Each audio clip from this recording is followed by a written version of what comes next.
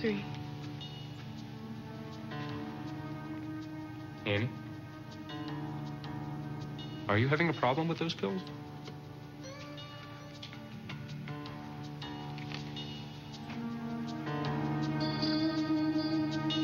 Can we start over?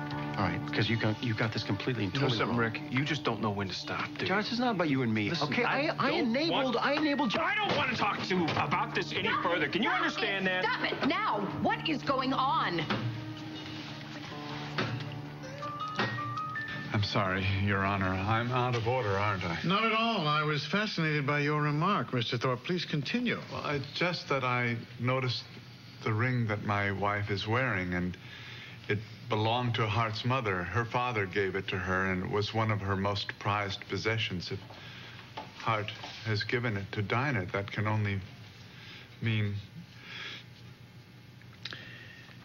I think we all understand what it means, Mr. Thorpe. Your Honor, I fail to see the relevance of this ring. Oh, I think it's very relevant, Counselor. You see, it's been well documented that Mr. Thorpe has resorted to violence in the past. But there seems to be mounting evidence that he may have been backed into a corner when he felt violated and threatened. Instinctively, he may have reacted to a finely orchestrated attempt to make him think he was losing his mind. And every time he tried to tell someone about it, he was rebuffed. It also appeared that others were involved. If anyone else has helped in this collusion, they are equally guilty.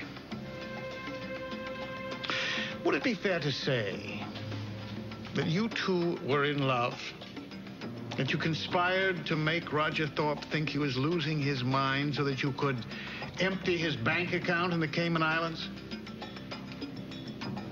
You don't have to incriminate yourself. Oh, let's stop the stonewalling. Officer, Your Honor. I want you to arrest Dinah Thorpe and Hart Jessup. Your Honor, please let me speak. I beg you, don't do this. Let them go. Please. You have to let them go.